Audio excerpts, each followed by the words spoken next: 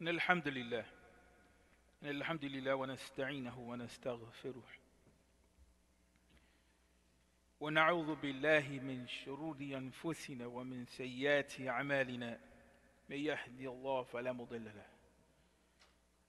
ومن يضلل فلا هادي له. وأشهد أن لا إله إلا الله وحده لا شريك له. وأشهد أن محمدا عبده ورسوله.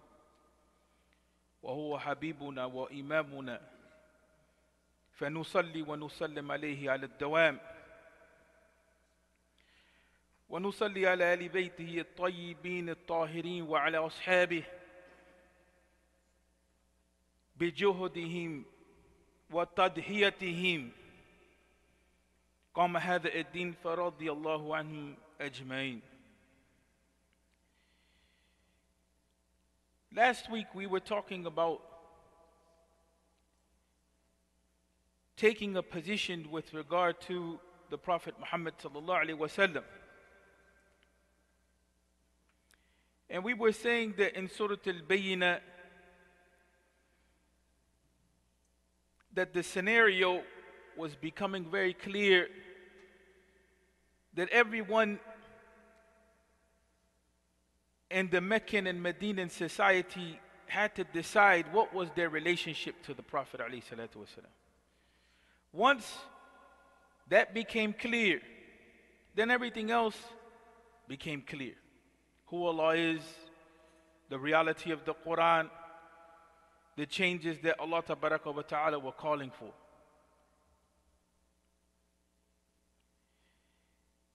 And we talked about the issue of intention, and specifically the hadith of intention. And we know that the scholars they differ over some of the asbab al wurud, the meaning uh, why it was that the hadith was said. But we took the opinion that the hadith was mentioned by the Prophet Muhammad wasallam as an advice to that Sahabi that made hijrah, and he didn't make that hijrah for the sake of joining the Prophet wasallam but he made the intention to marry. Something that's halal. But we use that as a way to combine between the issue of Tawheed and Ikhlas and the reality of the Hijrah itself. Just as a way to gather up a lot of different topics really fast. Because we just started the new Hijri calendar. And so there's been a lot of mention with regard to what is the meaning of hijrah and so on and so forth. Before going into the topic today, which we're going to talk about the issue of ikhlas, and we're going to talk about the issue of the human nature, and we're going to talk about the issue of tarbiyah and the community. I wanted to say that my responsibility is first of all to Allah wa ta'ala before it's to anyone. So the challenge that I have in this position is to make sure that I'm addressing the needs of the community and the needs of the people. And when my job is done, my job is done. When Allah wa ta'ala calls me to finish, Allah wa ta'ala calls me to finish. يعني أنا لازم أن أكون صادق مع نفسي عشان المتطلبات كثيرة وكل واحد له وجهة النظر Everyone has their own opinion as to how things should operate and how things should go. One of the most important things that we have to understand when we talk about Risal and Nabawiyah, prophethood itself, is that the prophet did something that is extremely difficult. He began with his family extremely difficult. Because at the same time that he began the dialogue with his family, it was his family that was cause of the problem. Yani, if I'm not correcting that, correct. It was his uncles, some of the ones that were kibar al-qawm, الذين يعني قاموا ضده they were the ones that were the ones that were against the prophet from within his own family عليه And he began with the people in his family and others outside of his family that the community itself, they looked at that situation. يعني هؤلاء ليس لديهم مكانة. يعني بتحقير عين التحقير. That's how they looked at the Sahaba in the early times.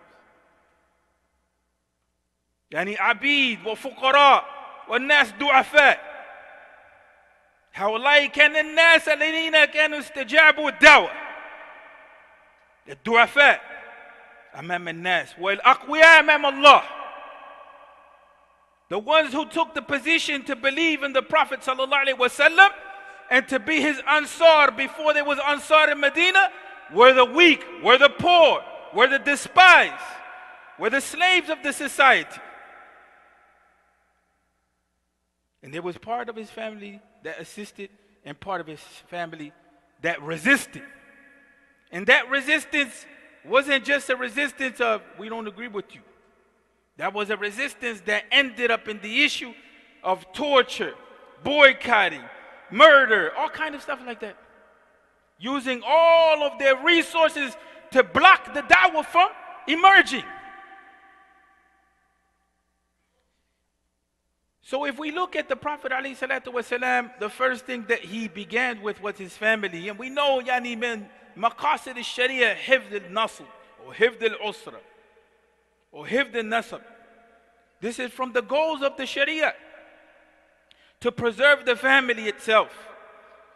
But the maqasid of the sharia or the aims of the sharia all of the rulings of the Sharia people is not just to preserve, it's not just to be conservative, it's not just to protect ourselves. The deen is there not just to protect ourselves from the world, the deen is there to help us develop. Yani. That's the reality of civilization. So when we look at the family, the family is not just the issue of how can we preserve our family, but how can we develop our family. And then the issue comes how can we develop the individuals in our family? After all, if we talk about the preservation of the ummah, then we're talking about the preservation of the family. And there's no way to deal with that issue. And we mentioned this before, and we mention it again, and we'll continue to mention it until Allah wa ta'ala decides that it's no longer the time. That we can't talk about the preservation of our youth and the preservation of our family without actually addressing the issues as they are. We can't run from that and then expect someone to come into the community and save the youth. That's not going to work like that. We're not talking to you, Yani Mujarrid al Kalam. I myself had the same experience. I grew up in North Philadelphia, and I mentioned this before. I grew up in North Philadelphia in the 80s when the drugs were coming all in the environment, my families was one of those families. What do we do? How do we deal with this? And I mentioned it before. My grandmother was one of those that used to go to all of the janazas in the community. And the community used to come to our house crying. My son died. My son was killed. This, that, so on and so forth. We lived that reality. And we chose Islam. And it wasn't that we didn't come from a good background. Yani, part of the issue that we have is we say, we're Muslim and they're not Muslim. So the problem is those over there. That's not the reality. These are social problems. So when we look at the reality even of Mecca in the time of Jahiliyyah, they had social problems on every front. Yani min ayna bada al-islah? From where did it begin? يعني بدأ من داخل الأسرة it began from within the family itself the Prophet ﷺ was commanded by Allah ta'ala فأقيم وجهك للدين حنيفة فطرة الله التي فطر الناس عليها Allah ta'ala he commanded the Prophet ﷺ here we don't take the issue literally فأقيم وجهك but your whole being. Turn your whole self to the deen. That was known, the deen of Fitra, deen al-Hanif. The deen of Ibrahim alayhi salatu wasalam, which is to believe in Tawheed, which is to engage in certain acts of ibadah to Allah wa ta'ala. And we know what Ibrahim did We know the struggle that Ibrahim والسلام, had within his own family in order to establish the values of the deen so that the people are not in superstition or the people are not in violation of Tawheed itself. Ibrahim والسلام, when he couldn't with his family, he had to go somewhere else. And unfortunately, this is what happens. We have to go somewhere else. This is the state and this is the position of the du'at everywhere.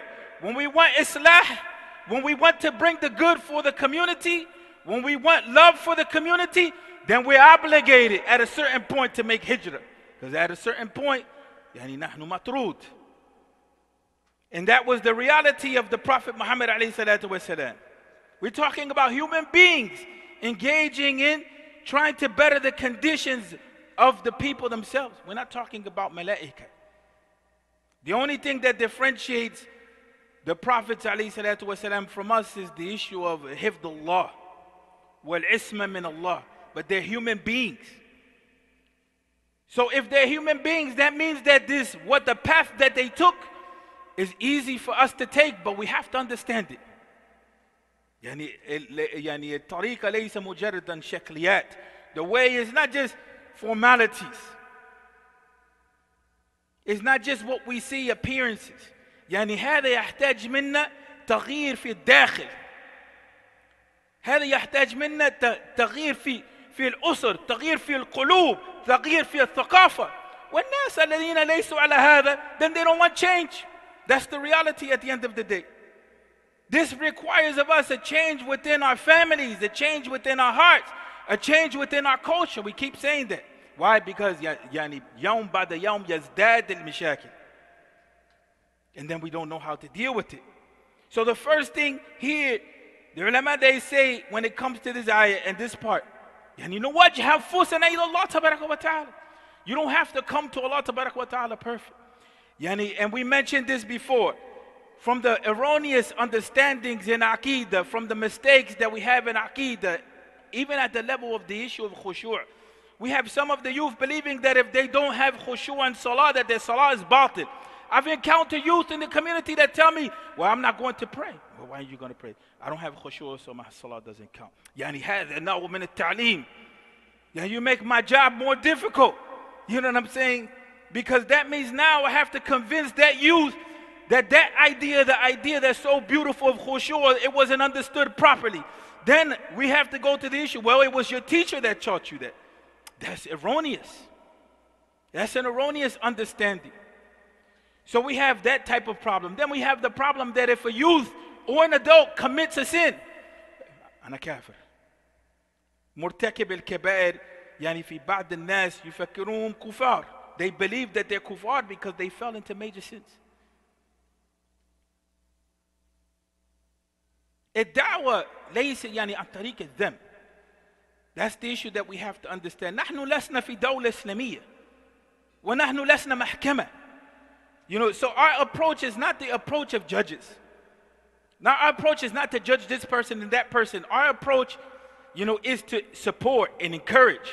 We see the people is like a marathon people, but we're doing it together. We're encouraging people together. That marathon is trying to maintain our deen and grow as Muslims and build our community and get to Jannah so that we go into the grave. We went into the grave as believers. So that يعني الأسلوب لازم يتغير يعني أسلوب الخطاب the way that we speak has to change and we hear that over and over again I give you an example the other day we had a janazah here and the janazah was composed of Muslims and non-Muslims of course this is a masjid of da'wah right we agree with that is a masjid of da'wah ونحن نفتح الباب إلى الناس ولو نفتح الباب إلى الناس في بعض الناس يدخلون وهم غير مسلمين That's just the reality. If the masjid is a masjid of da'wah, people are going to come in that are not Muslims. How do we deal with them? Do the first. You have to wear hijab. You have to do. We meet them where they're at. So they came in for Salat al Janazah. Some people started to complain about the way that the women were dressed, this, that, so on and so forth. يعني هذا لا ينفع. They're not Muslims. Yes, they're in our space, they're not in the musalla. You see what I'm saying? So if we want to build the community, if we actually want to build the community, if we want to preserve our families, if we want to extend the dawah, then we're the ones that have to change. When we change and when we build and when we come together, the whole of the dunya will open up for us. Just like it opened up for the Sahaba. That's just the reality at the end of the day. So the ayah says, Fitratullah alati fatra nas alayha. In other words, your nature itself, you as being a human being, there's no way that you're going to find any happiness, any contentment, any sense of peace without the first part of the ayah. فَأَقِيمْ وَجْهَكَ لِلدِّينِ Without turning to the deen, that's not going to happen. Because the nature that we have is a nature that takes us to Allah. Right? It's a nature which takes us to Allah. This is one of the reasons why we have the hadith from Abu Hurairah. No child is born, but that child is born on fitrah. His parents make him a Jew or a Christian or a Majus. As an animal delivers a child with limbs intact, do you detect any flaw?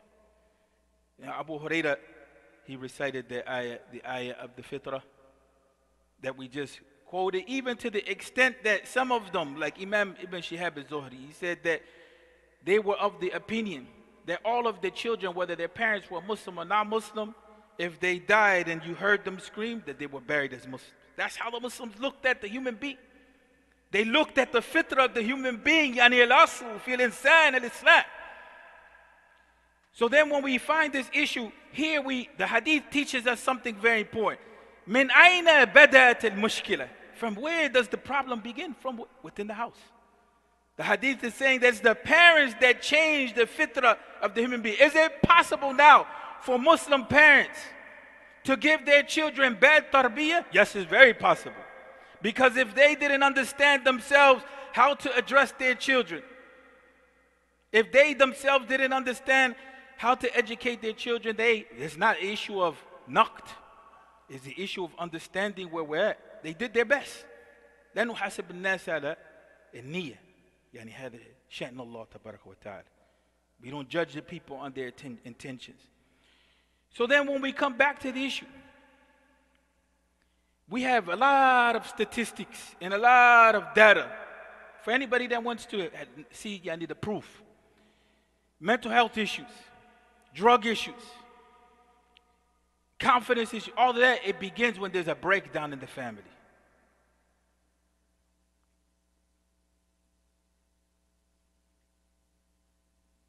It begins where? When there's a breakdown in the family. Now, is it possible for the family to be a righteous family and the children still go against the reality of the deen? Yes. We saw that in the house of Yaqub, and we mentioned that especially for those parents, والسلام, those parents that they struggle and that they try their best, and then they find that their children go another direction. We said, yes, that's possible. If you put your effort in. it's possible that your children will go in the wrong direction. Now, what am I asking here? I'm asking that if we're going to understand what we need, not what we think we want, what we need, studied from the bottom up, not studied from our minds imposed, but what we need. We need to have an understanding of what we need as individuals. And the first need is يعني كل واحد كما قلنا في الخطبة السابقة لازم أن يكون صادق من نفسه صادق مع الله تبارك وتعالى لازم أن يراجع قلبه مع الله تبارك وتعالى Everyone has to be in that position that you're truthful with yourself and you have a relationship with Allah that's truthful. It doesn't have to be perfect, but it has to be a relationship in which you're having a clear, clear investment in it. Why? Because that's what's going to hold you when life becomes difficult. When life becomes difficult, when you can't go to this person or that person for assistance, you know that you have Allah. When your life is at a point where you feel so under pressure, then يعني تفتح باب القلب بالدعاء وتدعو إلى الله. You're able to scream to Allah tabarak wa ta'ala. Not literally, but you're able to cry to Allah tabarak wa ta'ala and have that as a release. But dua is not enough. The second thing is the relationship to the masjid itself. We have, after COVID, a situation throughout all of the country when nobody comes to the masjid. And then the other issue that comes is that what is our suluk? Yani man, who was suluk in nas bainahum ba'duhum ba'd? Because we won't be able to maintain the community if there's no relationship between the people that's correct, right? If some people are just coming around, they're criticizing this, they're mentioning this negative. Who wants to be in that environment? يعني هذا من أمراض القلوب يعني النظرة إلى إلى الناس بالسوء على الدوام هذا من أمراض القلوب if we don't see the people in a while, we should look at them in the best of manners. Even if we see them every day, we should look at them in the best of manners and speak to them in the best of manners. And then the other issue is our economy and our families. If our economy and our families is not on point, there's no way that we have a stable community. And we see that the Prophet, ﷺ, those were the lessons that went from Hijrah. The first thing when they were in Mecca, they tried to live in that environment and they tried to correct their situation when the, when the environment no longer allowed them to be able to function on any level, on every level, ruhaniyin, iqtisadiyin, ijtima'iyin, spiritually, economically, socially, then they had to leave. Then they had to go. And then the first thing that happened when they made that hijrah, we mentioned this before. We ended the khutbah with that reality. أول شيء كان يفعل النبي عليه الصلاة والسلام كان ينظم الناس وينتبه لأحوالهم قبل أن ينتبه على المباني. Before he built the masjid, he organized the community because he had a social problem on his hands عليه الصلاة والسلام. He had the muhajirin that came. They didn't have housing. They didn't have jobs or economy. So the first thing that he did was he made sure that they had housing. He made sure that they were paired up fi nizam al That's social services people. That's welfare people. That's economy people. That's understanding how to organize your community people. Then they built the masjid. And when they built the masjid, they built the masjid with a purpose. And that purpose was to build that community on the dhikr of Allah wa ta'ala. وبعد ذلك بدأت المشاكل على مستوى أخرى different problems came up but the Prophet والسلام, and his leadership he didn't leave the affairs to the people to just destroy themselves he didn't leave the conditions and the needs of the people unaddressed he was the type of leader that addressed the people وكان يصاحب الناس لم يحكم من الفوق كان يصاحب الناس عليه الصلاة والسلام. He used to walk with the people and know their situations and know their conditions. And they felt that they were the most important thing when he addressed them. That's how we should be with the people. That when we deal with them, the people that we deal with, our Muslim brothers and our Muslim sisters and our family members, and even those that we deal with in the workplace, that they feel that they have dignity not that they feel that they have no dignity, that they feel that they're important. يعني هذا هو عين السنة يعني هذا هو مقصد السنة ليربط بين الناس يعني that's the, that's the goal of the sunnah to bring the people together to bring their hearts together to come back to the fitrah which and the fitrah of the human being or the nature of the human being is for us to be in good relations with one another who wants to live in a family where they're miserable? Who wants to live in a community where they're miserable? Who wants to be in a job where they're miserable? Who wants to come to become a Muslim into a community and that community is miserable? فأقول قولي هذا واستغفر لي ولكم والحمد لله رب العالمين اللهم صل على محمد وعلى آل محمد كما صليت على إبراهيم وعلى آل إبراهيم وبارك على محمد وعلى آل محمد كما باركت على إبراهيم وعلى آل إبراهيم في العالمين إنك حميد مجيد We ask Allah ta'ala to forgive us our sins. We ask Allah ta'ala to join our hearts together. We ask Allah ta'ala to make us of one vision. We ask Allah Ta'ala to guide us and to protect this community and to bring about the best in it in our families, Allah Ta'ala. We ask you for them. We ask you for those who are struggling in their businesses or with their jobs. We ask you for our youth, Allah Ta'ala, to protect them and guide them and to give them a sense of direction and strength. And we ask you, Allah Ta'ala, for those that have died. And we ask you for protection from any sickness that runs through the land. And we ask you, Allah wa Ta'ala, for those who have passed away, that you change their bad deeds into good deeds. And we ask you, Allah wa Ta'ala, to allow us to die in the state of Islam. Aqimus.